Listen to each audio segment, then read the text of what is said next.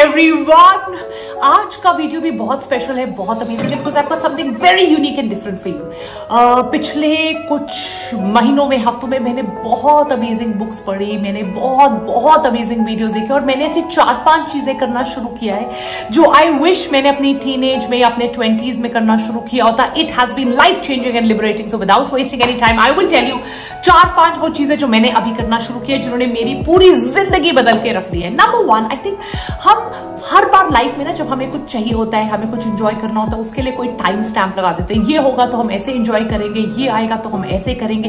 But I think we should just stop putting these time stamp to enjoyment हमें जो करना है, जो खुशी देती है, वो हमेशा बहुत छोटी छोटी चीज़ें होती हैं।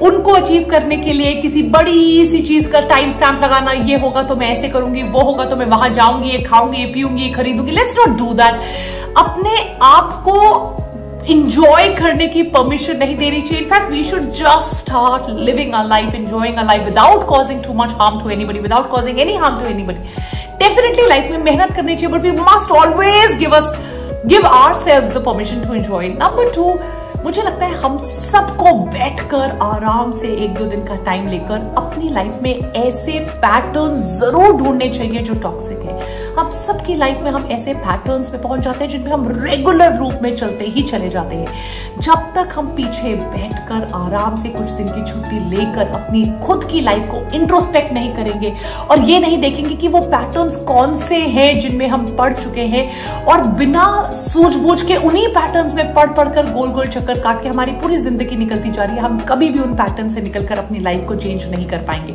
We are all set in our pattern and we must take some time out to introspect की वो कौन से पैटर्न है, उनसे बाहर निकला जाए। नंबर थ्री हम हमेशा लाइफ में ये इसलिए नहीं हुआ क्योंकि वो ऐसा हो गया, वो इसलिए नहीं हुआ क्योंकि वो ऐसा हो गया। हम हमेशा लोगों को ब्लेम करते हैं सिचुएशंस को ब्लेम करते हैं टीचर्स फ्रेंड्स फैमिली पेरेंट्स सब किसी को ब्लेम करते हैं। बट आई थिंक हमें ज़िंदगी में खुद अब हर एक चीज़ की रिस्पॉन्सिबिलिटी ले लेनी चाहिए। मेरी ज़िंदगी में जो हो रहा है, वो इसलिए हो रहा है क्योंकि मैंने कुछ ऐसे किया है।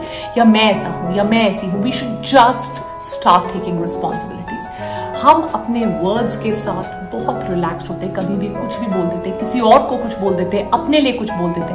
बट आई थिंक हमें ऐसा नहीं करना चाहिए। We should be very very very very of our words I feel words are very powerful because words ही वो चीज़ें हैं जो हमारे खुद के थॉट्स हम अपने आप को वो कुछ वर्ड्स फ़ीड करते हैं। फिर वही हमारा थॉट हमारा एक्शन बन जाता है और वही एक्शन फिर हमारी डेस्टिनी बन जाती है। So we should tell ourselves that we are kind we are compassionate we are strong we are leaders हम केपेबल है, हमारे अंदर पोटेंशियल है, हम सक्सेसफुल होंगे, हम हेल्दी है, हमें हमेशा पॉजिटिव एफर्मेटिव बढ़िया वर्ड्स अपने लिए यूज़ करने चाहिए।